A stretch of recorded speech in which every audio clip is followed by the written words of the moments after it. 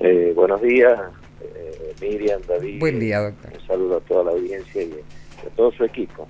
Muchísimas gracias. Usted es un vecino de San Miguel de Tucumán. La verdad que hoy eh, se ha instalado, lo, traemos al, tema porque hoy está todo el mundo con mucho malestar porque hay decenas de semáforos que en San Miguel de Tucumán no funcionan. ¿Usted cómo vive como vecino de San Miguel de Tucumán? Sobre todo porque el municipio pareciera no, no, tomar nota sobre un problema real que puede provocar incluso accidentes. Sí, bueno, eh, mire, yo hace mucho tiempo que vengo insistiendo en todas las falencias que vemos desde el municipio de San Miguel de Tucumán y sobre todo las cuestiones que tienen que ver con el tránsito, ¿no?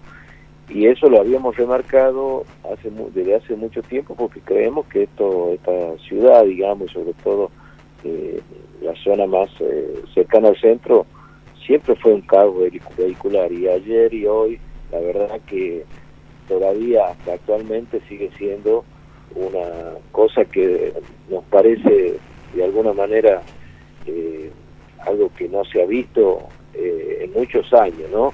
Hay una total, un total abandono de todo lo que es las obligaciones que tiene el municipio de los funcionarios que deberían eh, corregir esto. Hemos empezado un periodo de clases eh, ayer y hoy la verdad que la, ciudad se amanece sin semáforos, sin eh, controladores de tránsito, sin agentes de tránsito, sin nada que nos pueda garantizar la posibilidad de que nosotros tengamos adecuadamente algo razonable, que no haya semáforos, que no haya un orden en esto impide circular y obviamente esto eh, habla un poco de la, de la carencia y de la ineficiencia que está teniendo la, gestión municipal en ese sentido. Y, y, lo más extraño, porque la verdad que uso, la palabra extraño por, por ser este cauto y educado, porque lo que se está deslizando desde el municipio es que los semáforos no funcionan hoy por el apagón de ayer. Como justificación. Eh, no, no se puede justificar eh, porque el apagón ya pasó, ya, ya, ya hay luces en la mayoría de, de los lugares de la ciudad. Eh, no se puede justificar por eso.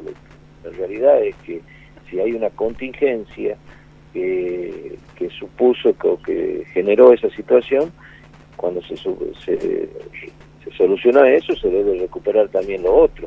Pero acá seguimos todavía, eh, después de 12 horas, 15 horas de, de haberse solucionado el inconveniente eléctrico con estos problemas que realmente esto habla un poco de, de, lo que tenemos, la ciudad que tenemos, de la gestión de gobierno que tenemos, no solo en el tema tránsito, sino también en lo que significa las calles que están destruidas, las veredas que están rotas, la, la falta de iluminación. La, Diana, ya que estamos hablando de temas, ya que estamos hablando de temas que tienen que ver mucho con el vecinalismo, ¿Cómo vivió usted el otro día, por ejemplo? ¿Cuál es su reflexión acerca de que el lanzamiento de la campaña del intendente Germán Alfaro, que quiere ser gobernador, se hizo a 400 metros de una cosa que está que da pena pasar por ese lugar?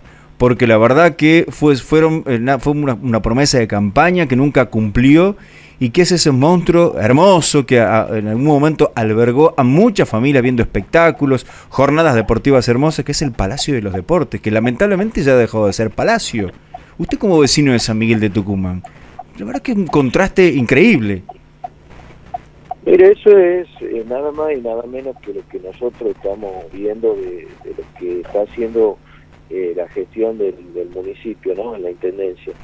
Eh, se han dedicado actualmente a hacer una campaña para priorizar la gobernación, se han olvidado de cosas básicas de la ciudad, además de que en ocho años ya ah, la gestión ha fracasado, es una gestión que no tiene la que no ha cumplido con las expectativas que muchos vecinos necesitamos y muchos vecinos creíamos que se podía llevar adelante.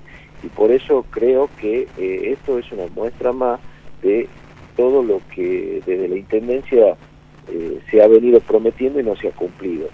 La realidad es que hoy tenemos eh, una ciudad totalmente abandonada. Antes creíamos que eh, la, ciudad las deficiencias estaban fuera de las cuatro avenidas, fuera de los barrios periféricos, hoy ya también esto está alcanzado ya esta falta de gestión hasta toda la zona céntrica, porque hoy vemos realmente que la zona céntrica está también siendo descuidada y abandonada como en otras gestiones.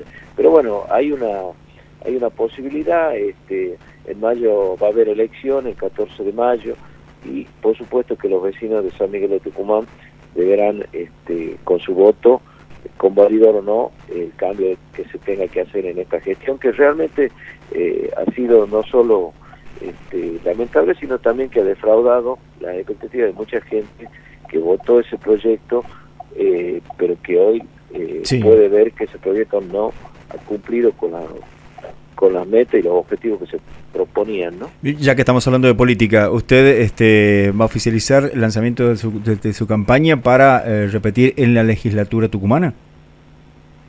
Sí, nosotros estamos trabajando, digamos, para, para, para proponer una, a través de, de nuestro partido y de otros este, espacios políticos, una una posibilidad de que nosotros sigamos en el, en el, Poder Legislativo acompañando la gestión que seguramente va a tener que llevar adelante el contador Ovaldo Jaldo, que es nuestro candidato a gobernador, y eh, que seguramente, si Dios así lo permite y los vecinos lo, lo votan, los, los ciudadanos de Tucumán determinan eso, será el próximo gobernador de la provincia.